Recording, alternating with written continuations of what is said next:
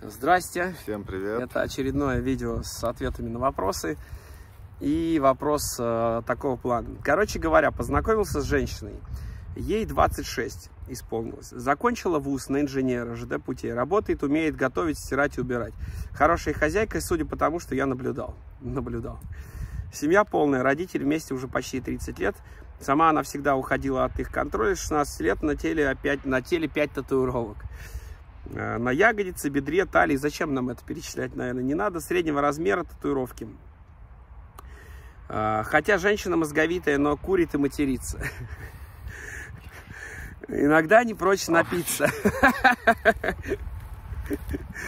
Короче, ты, в моем понимании ты описываешь, э, мягко говоря, женщину, которая просто изначально никак, просто от слова совсем не подходит для женщины, с которой можно было бы какие-то отношения построить. Там татухи вся в татухах причем.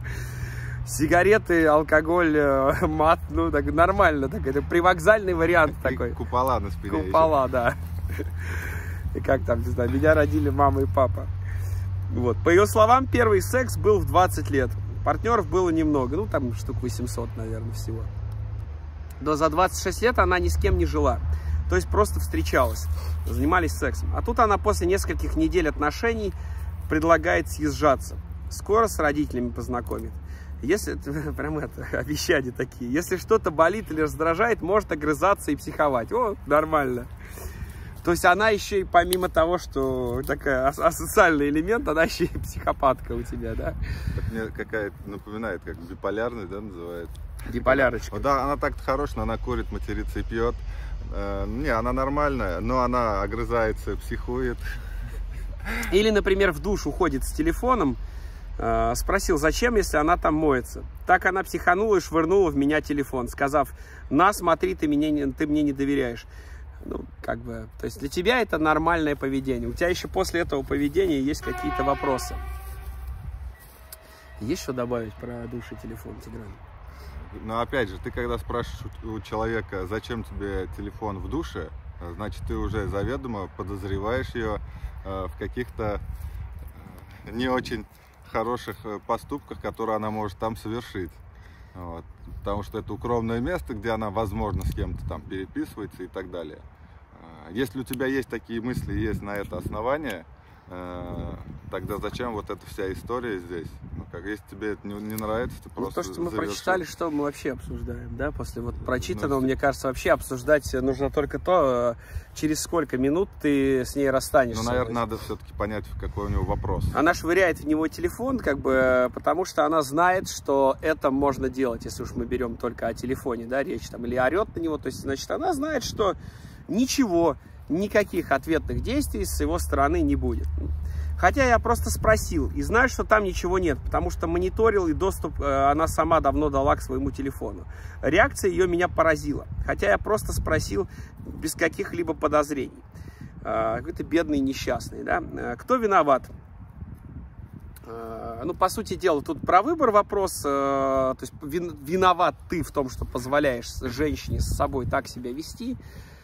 Виноват в том, что ты выбирал, хотя ты не выбирал. Сто процентов, вот сто миллиард процентов, если бы там было каких-то 5-10 девушек, классных, красивых, то есть разных, и у тебя был бы к ним ко всем доступ, то, мне кажется, ты бы уже давно бежал от этой, и у тебя бы сверкали пятки. Если ты, конечно, не садомазохист, не извращенец, не человек, который не ищет легких путей и так далее. А, По характеру а, прослеживается инфантильность. Это он, Это он пишет. про себя пишет? Это он или- про нее пишет. А, Не знаю, стоит ли съезжаться. М, то у тебя еще вопросы. Конечно, съезжайся. Она детей хочет. Слушай, ну, есть что сказать? Просто я тут сейчас, а то я материться начну. Как бы. ну, мне кажется, это в данном этом моменте это уместно будет. Ну, то есть, э, как бы, если она хочет детей, то это аргумент, да, или что? То есть, ну, как бы, не знаю. Она С- хочет. То есть собака, вот, которая там сейчас бежит где-нибудь по лесу, там, э, она тоже хочет детей. Может быть, с собакой нужно съехаться, там, не знаю. Это же нормальный вариант. Почему? Пудель неплохо выглядит с кудряшками. Вот. Она хочет детей. Так, с одной стороны, семья у нее полная. М, человек образованный. А с другой, она поистерить может и легкомысленность иногда прослеживается. А про полную семью это вообще не показатель. Естественно, что, конечно, ну, если примитивно прям совсем рассуждать, что, э, наверное, как сказать, человек там из полной семьи, опять же, что за семья, э, он, может быть, будет более, там, как вы любите говорить, пригоден для отношений. Вы же женщину рассматриваете как вещь, пригодная или непригодная. Вот. Но с другой стороны, я знаю тысячу примеров, когда люди не из полной семьи и вырастают людьми. Я знаю людей, которые из полной семьи и вырастают не людьми. Вот. А... Что скажешь-то, Тигран, вообще? То есть есть критические, мне, есть некритические мне недостатки. Мне да? интересно дослушать, какой так, а же все, вопрос. Это уже есть вопрос. То есть, как бы, с одной стороны, семья у нее полный человек образован, а, с другой он, она поистерить может. Он теперь сомневается, стоит да. ли с ней съезжаться или да, нет. стоит ли ему с ней съезжаться. То есть, здорово. То есть, мы должны за тебя принять решение, стоит ли с ней съезжаться или не стоит. То есть, те недостатки, которые в ней есть, которые он сейчас уже видит, кстати. Чуть-чуть. Да, он считает, что они не критические. То есть тебе надо определиться, какие э, для тебя недостатки или моменты критические, как критичные, какие не критичные. Есть... Ну и как бы со своим терпением тоже нужно поговорить. Э, сколько ты сможешь выдержать такое поведение ее, есть такое отношение к себе. Да. Э, ну, мне есть вещи, о которых очень сложно рассуждать, потому что изначально я не представляю, что вообще такая ситуация может быть. Э, чтобы женщина кидалась телефоном, э, чтобы она там истерила, пьет, курит, матерится. То есть в моей картине мира это вообще такого не существует. То есть такая женщина никогда, не то что рядом, там, напущенный выстрел ко мне не подойдет. Тут написано, короче говоря, познакомился с женщиной. Мне очень интересно был бы процесс знакомства, как он познакомился. То есть он написал двум сотням женщин на Тиндере, из которых только вот эта вот, э, скажем, э, некондиционная женщина решила ему ответить. Или как было? Или он познакомился, он пошел там бомжей возле подъезда выгонять, говорит, блядь, давайте, сваливайте, короче, вы тут орете, нассали тут, не знаю, везде, лавку все обоссали. О, привет, я там Петя, там, не знаю, а как тебя зовут? Так ты познакомился. Мне интересно, как, как тебе вообще угораздило с такой женщиной познакомиться. Это, да, а по поводу детей. Э, она детей хочет. То есть для тебя это показатель того, что ее намерения по отношению к тебе максимально серьезные, искренние. Но как может человек хотеть от кого-то детей, если этот человек не нравится или она к нему ничего не испытывает?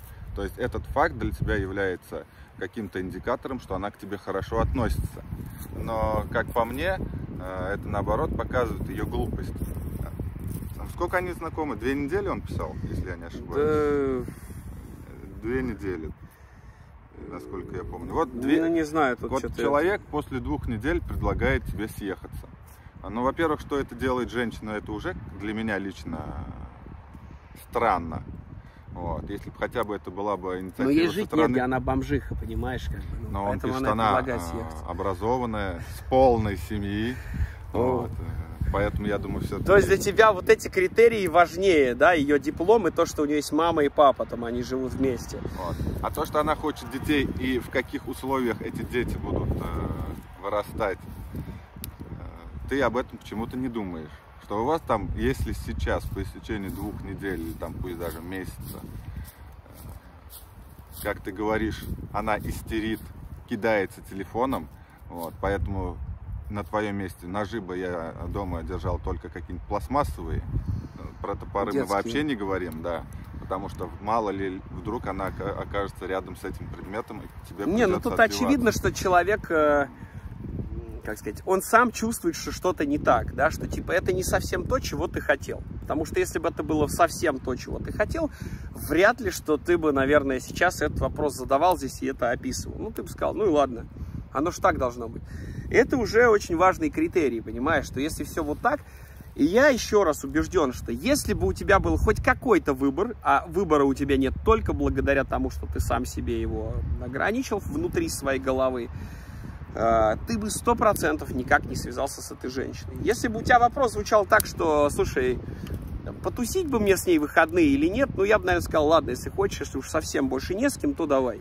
Но когда ты спрашиваешь, типа, мне вступать в отношения с этой женщиной или нет, э, ну, ты что хочешь от нас услышать? Это, знаешь, это как про...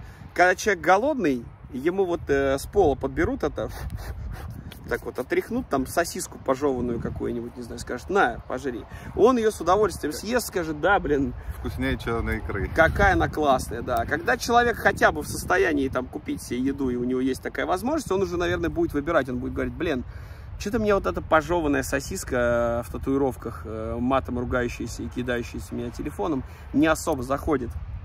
Не совершайте ошибки. Как бы мораль этого видео такая, что если ты изначально видишь, что что-то тебя не устраивает, не надо самого себя обманывать и думать, что, ну ведь, блин, это все пройдет. Или она перестанет. Или это мелочи. Или там, «А, я с ней поговорю, и потом она перестанет. Ничего не пройдет. Если это сейчас, на самом начальном этапе отношений происходит, то поверь мне, с каждым следующим днем, когда она все больше привыкает к тебе и расслабляется, это полезет еще больше, еще больше, еще больше. А потом еще и вы, не дай бог, э, заведете детей, которые потом, естественно, после вашего развода э, будут жить в неполной семье, это уже косяк, то она будет еще больше позволять себе с тобой так себя вести.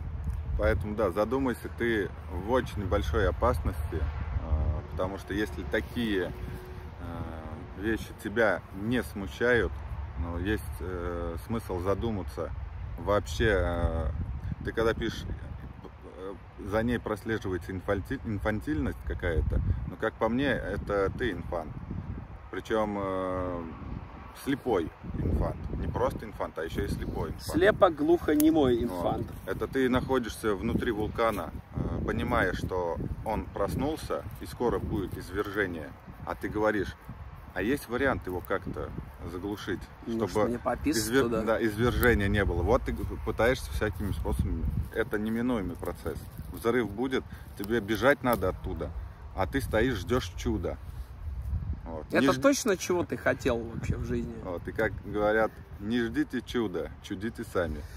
Короче, ссылка на ближайший тренинг «Практика» здесь, где мы исправляем э, вот такие вот э, твои косяки. Вот. И пишите вопросы под видео, будем на них отвечать.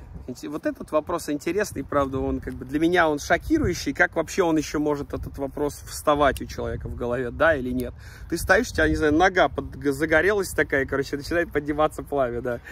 Ты говоришь такой, блин, ну, как бы, в принципе, огонь не так опасен для человека. Неплохо, можно еще и вторую ногу поджечь. Окей, поджигай. Все, увидимся. До новых встреч.